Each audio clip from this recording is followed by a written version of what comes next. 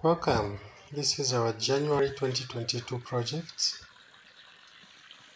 We've just set up a three fish tank recirculating aquaculture system that consists of uh, 25,000 liter tanks.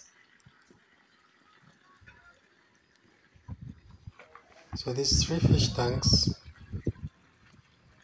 will be totally recirculatory and this will be our biological filter in some tank. So this is where all the biological filtration will be taking place. And these two IBCs will be the mechanical filters.